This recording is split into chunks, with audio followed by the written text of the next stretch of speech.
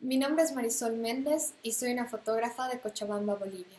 Hoy les voy a hablar sobre mi proyecto fotográfico Madre. Madre nace para desafiar la mirada patriarcal y clasista que aún impera en nuestro medio. Con este proyecto me propongo dos objetivos. Por un lado, celebrar la diversidad y complejidad de la experiencia femenina y por otro, explorar la influencia de la religión y la raza en la representación de la mujer boliviana.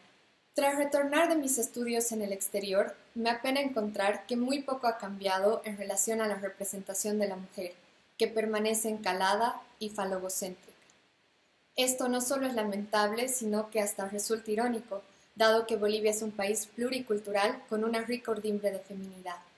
Entonces me propuse retratar a mujeres bolivianas como las que yo conozco y admiro, llenas de matices y contradicciones en todos los tamaños, de todas las edades y de todas las etnicidades. Lo que me sorprendió fue que me sentaba a charlar con estas mujeres y si bien todas ellas son libres, emancipadas, son independientes, inteligentes, emprendedoras, todas ellas habían experimentado algún tipo de opresión por parte de nuestra sociedad machista. Paralelamente, mientras se gestaba esta idea de la serie de retratos, mi mamá dio con un álbum familiar perteneciente a mi abuela.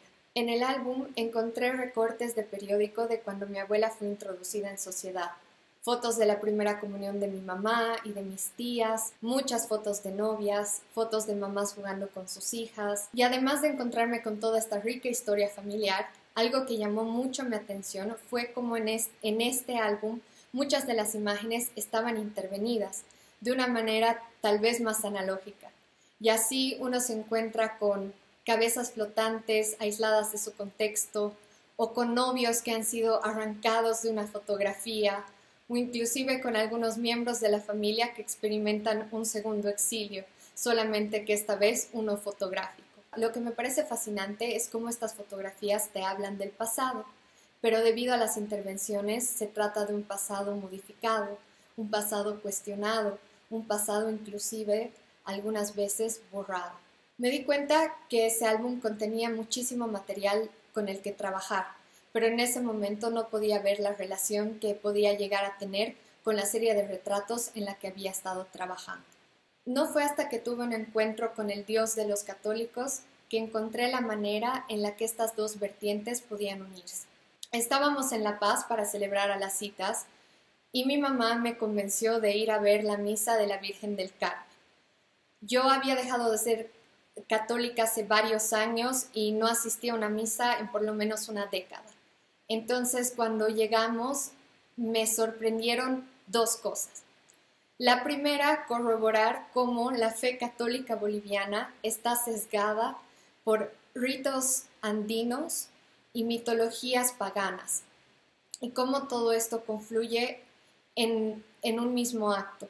En esa misa, por ejemplo, había un señor disfrazado de queco y fue genial verlo soplar el humito de la coa hacia la Virgen para luego postrarse ante ella y rezar. Y la otra recordar lo terriblemente patriarcal que es el catolicismo. En esa misa, que era una grande, había por lo menos unos 10 hombres presidiendo el acto.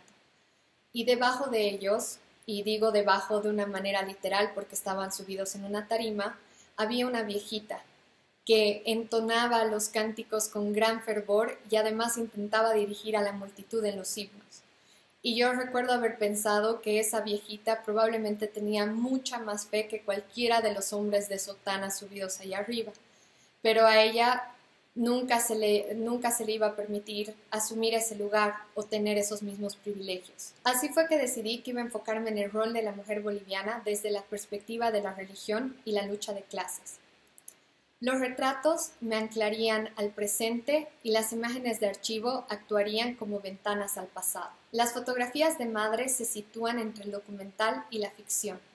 En ellas, las mujeres encarnan distintas versiones de la Virgen María y María Magdalena, pero fecundadas para reflejar tradiciones andinas. Las fotografías familiares son manipuladas para poder criticar el relato y subvertir la historia. La serie describe una existencia interconectada por elementos físicos y mitológicos, una danza entre el Ukupacha y el Pacha, donde las mujeres experimentan mutación, potencialidad, declinación, pérdida y muerte.